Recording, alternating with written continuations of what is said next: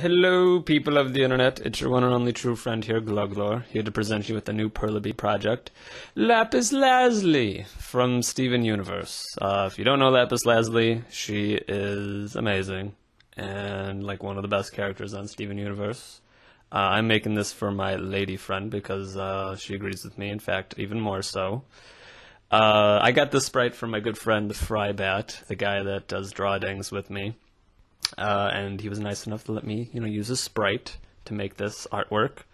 Uh, with this artwork, I'm going to do something a little different. Uh, I'm going to actually incorporate the mirror that Lapis Lazuli was uh, trapped in in this artwork, along with some crayon melt art and stuff like that.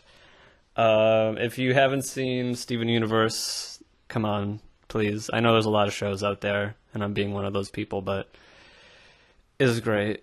Is a great show. Um, but Lapis Lazuli, she can control water, pretty much. She controlled the whole entire ocean, trying to make a pillar into space. You know, it's no big deal. Uh, but anyway, I just started this with filling everything out in black, going over everything uh, with the lights and the darks blues and some whites. Like you can see the highlights in the eye and the highlight in that water that she's controlling that she's floating in the air like no big D. Uh, anyway, I'm about to tape her up so that way she can get ironed um, and get all melted and ready to go put on my canvas. So just, you know, getting the top of the head right now. Getting that top of the head too. There we go. Now I'm going to do the tricky part where I make a lapis sandwich, flip the foam boards over, and hope that none of the beads fall out when I tape this. I'm going to pull that thing off pull the pegboards out and make sure old Lappy's okay, little Lappy.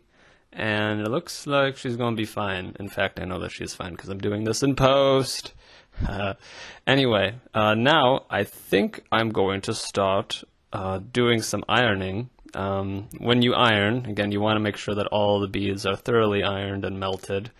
Uh, but it's like a balancing act. You don't want to do too much melting. You don't want to do too little melting. You want to get it just right, just like Goldilocks and the Three Bears. Uh, now, I'm going to melt some crayons on top of here uh, on this canvas that I spray painted blue. Uh, I'm using some different types of blue crayons. Uh, I think I also use a white crayon. There we go.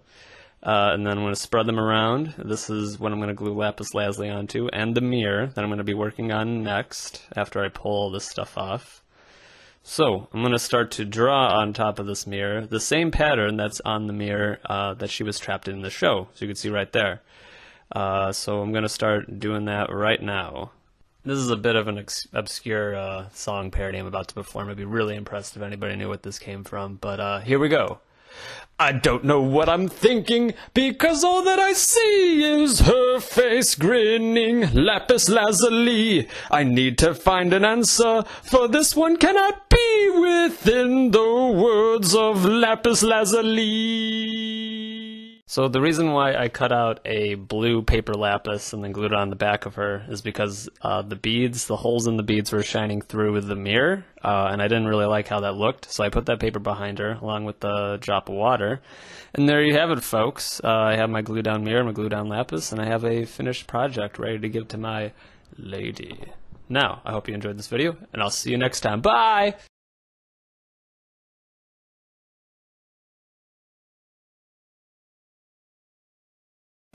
Do good, boy. Hi, I'm Glogglor again. And I'm Jilly, aka Glogglor's lady. Oh my. and we're excited to announce the launch of our brand new studio that we're starting together, the Otter Productions. Yes, so if you like Steven Universe, other random fandoms, and me, you should come check out Grounded, Grounded Part, Part 1. Links in the description. And see why Amethyst is about to punch Steven. Okay, bye.